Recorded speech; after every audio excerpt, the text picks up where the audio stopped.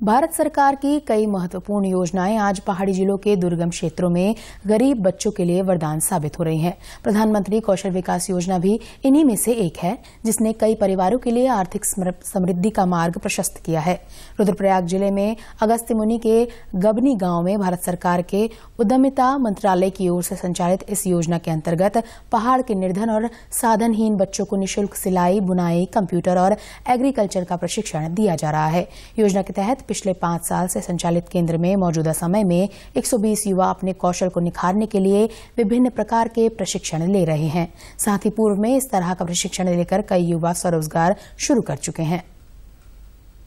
यहाँ पे अलग अलग कोर्सेज रखे गए हैं सरकार के द्वारा, जैसे कि एग्रीकल्चर हो गया और फ्रंट ऑफ़िस हो गया, ये डीडीओ जैसे कि हमारा DDO domestic data entry operator और सिलाई का हो गया और ऊपर आगे जो ऊपर सेवा है वहाँ हमारा स्वेटर बुनाई वगैरह ही हो मैंने सिलाई सीखी है और यहीं की ट्रेनर हूँ अब। सर मैंने यहाँ चार महीने सीखा था। उसके बाद हमारा एग्ज़ाम हो गया था।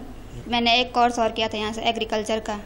उसका भी सर्टिफिकेट आया था पिछले चार पाँच साल से केंद्र है। पिछले दो तीन साल से जब तक कोविड चला है थोड़ा कोविड के टाइम पे स्थिति थोड़ी हुई हुई है। बट उसके बाद हमने नए कोर्सेज को स्टार्ट किया अभी और मैं पहले हमारा ऑर्गेनिक फ़ार्मिंग बच्चों को सिखाई जा रही है।